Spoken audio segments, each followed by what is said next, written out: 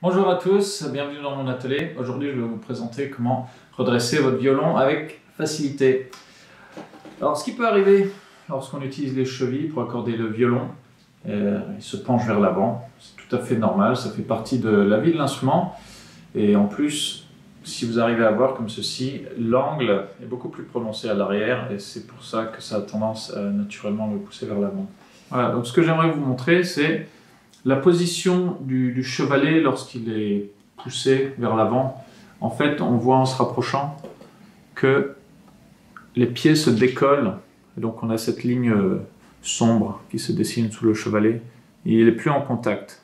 Et le redresser, ça va permettre justement de recréer ce contact et donc d'avoir plus de stabilité et aussi plus de transmission du son. Pour réaliser la manipulation avec le maximum de sécurité, il faut utiliser ses deux mains et positionner le violon sur ses cuisses. Voilà, donc euh, sur une chaise, euh, sur un tabouret, vous essayez confortablement.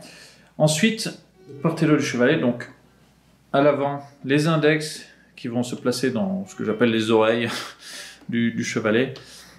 Euh, les index donc bloqués dans, dans, la forme et pareil pour les pouces à l'arrière.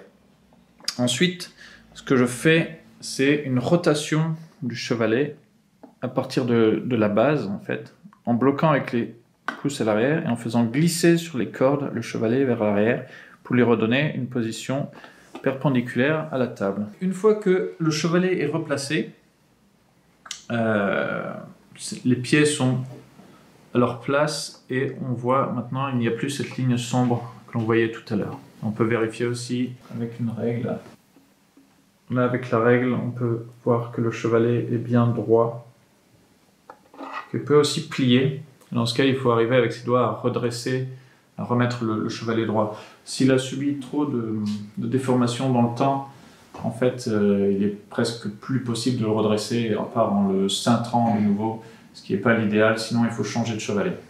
Voilà, merci d'avoir suivi cette vidéo. J'espère que vous aura appris à redresser le chevalet si jamais vous devez le faire.